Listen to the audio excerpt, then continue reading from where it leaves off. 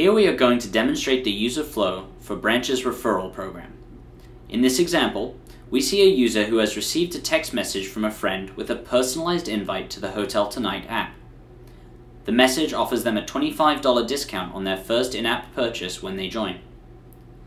The user clicks on the link in the text message, and because they don't have the app installed is directed to the App Store to download it.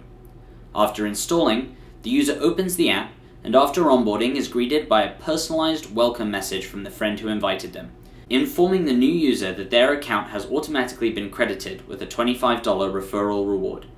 You can also see that on their registration form, the friend's referral code has been pre-populated into the referral code field. On the back end, the friend who referred this user to the app also receives a $25 referral reward once this user completes their first booking. Sign up to learn how you can build this in your app at dashboard.branch.io.